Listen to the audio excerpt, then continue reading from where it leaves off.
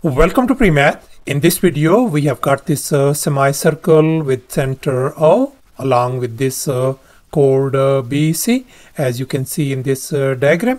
And moreover, we got this uh, perpendicular uh, DE that intersects this chord at this point F such that this segment BF is 6 units whereas this segment CF is 8 and furthermore uh, this uh, segment uh, DF uh, is equal to this segment uh, EF and now our task is uh, to find the radius of this semicircle. Please don't forget to give a thumbs up and subscribe. Please keep in mind that this figure may not be 100% true to the scale. And here's our action plan since we are interested in calculating the radius uh, of this uh, semicircle and we can see that this uh, OB is the radius uh, of uh, this uh, semicircle and moreover we can see that this OB length uh, is equal to the sum of these two individual lengths OE and this EB as you can see in this equation. So therefore now our task is to find the length OE and this uh, length uh, EB as well. And now let's go ahead and think uh, outside the box. So therefore we are going to consider the whole circle. And here in this next step, I have extended uh, this uh, line uh, DE all the way to point P such that we get this whole chord DP. And now let's recall the intersecting chords theorem. According to this theorem, if two chords intersect uh, in a circle, then the product of the measures of the segments uh, of the chords are equal. As you can see in this uh, diagram, where these two chords AC and BD intersect each other. And as a result, we get the segments A, B, C, and D such that uh, A times B equal to C times D. And now let's focus on our uh, own problem. We got these uh, two chords B, C and uh, DP that intersect each other at this uh, point uh, F. And now let's make an observation. We can see that these two segments DF and EF are equal. Let me call this segment as X and this segment is going to be X as well then this uh, whole uh, segment uh, DE is going to be x plus x is going to make it uh, 2 times x. And now we can see by symmetry if this uh, segment is uh, 2x uh, then uh, this segment is going to be 2x as well. So therefore this whole segment FP is going to be x plus 2x is going to make 3 x. And now let's assume that this uh, segment is uh, our lowercase a this segment is uh, our lowercase b this segment is uh, lowercase c and this uh, whole uh, segment fp is lowercase d. So let's go ahead and fill in the blanks in this intersecting chords formula. A in our case is 8 b is 6 equal to c in our case is x times d is 3 times x. So let's go ahead and simplify. That is going to give us 48 equal to 3x square. Let's divide both sides by 3. So therefore our x square value turns out to be 16. Let's undo this uh, square by taking a square root uh, on both uh, sides. So therefore our x value is going to be positive 4. So therefore we conclude that this uh, x value turns out to be positive 4 and this uh, x value is positive uh, 4 units as well. And here's our next step. Let's focus on this uh, right triangle uh, BEF and we are going to use the Pythagorean theorem. And here's our Pythagorean theorem, a square plus b square equal to c square.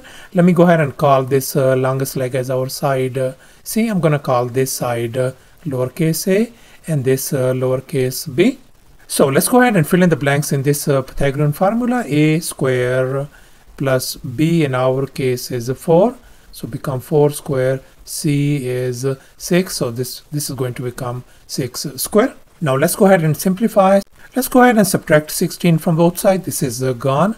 So therefore a square turns out to be 20 let's undo this square by taking a square root uh, on both the sides. So therefore we can write a equals to and now let's uh, focus on this uh, right hand side square root of 20 and here I have copied it down and if we simplify this thing this turns out to be 2 times the square root of 5 so therefore I'm going to replace this uh, square root of 20 by 2 times square root of uh, 5 so therefore our a value turns out to be 2 times the square root of 5 uh, units.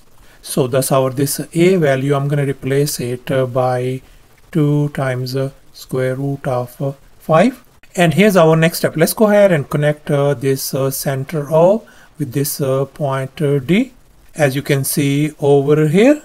And as a result we got this uh, right triangle uh, OED and we can see that this length DE is going to be 4 plus 4 is going to make 8 units. Let me call this side length as lowercase b. And now let's make an observation. We can see that this uh, OD is the radius uh, of this uh, semicircle and uh, this uh, OB is the radius uh, of the very same semicircle as well. And this OB is going to be simply B plus 2 times the square root of 5. Then this OD length is going to be B plus 2 times square root of 5 as well. And now let's focus on this uh, right triangle OED and we are going to use the Pythagorean uh, theorem. And here's our Pythagorean theorem once again a square plus b square equal to c square.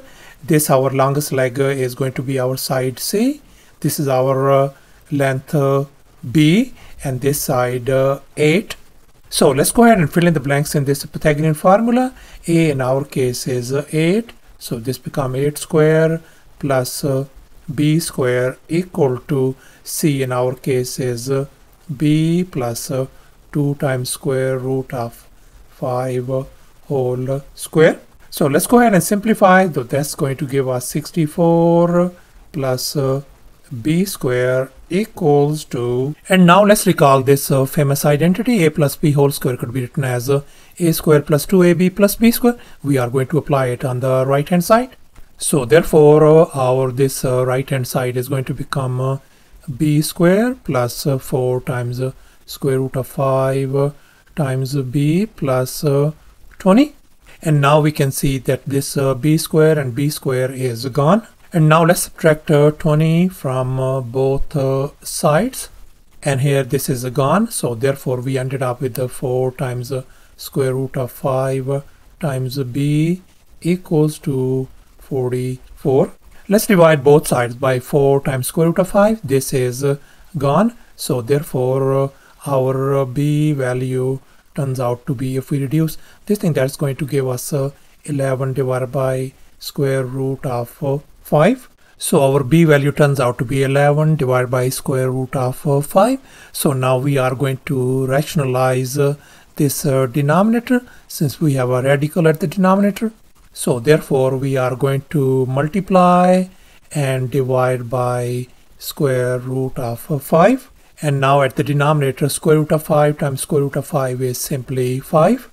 So therefore our b value turns out to be 11 times the square root of 5 divided by 5. So therefore our this b value turns out to be 11 times the square root of 5 divided by 5 and here's our final step. Let's go ahead and calculate the radius now. So the radius is going to be this one OB that is going to be the sum of uh, these two individual uh, lengths. So therefore I can write uh, that our radius uh, is going to be equal to 11 times the square root of 5 divided by 5 plus, uh, 2 times the square root of 5 and now in this uh, next step I can write this uh, 2 times square root of 5 uh, as uh, 10 times square root of 5 divided by 5 to make sure we have the same uh, common denominator. And if we simplify everything, uh, our radius turns out to be 21 times square root of 5 uh, divided by 5 units. So thus here's our radius of this semicircle and that is going to be approximately equal to 9.39 units. Thanks for watching and please don't forget to subscribe to my channel for more exciting videos. Bye.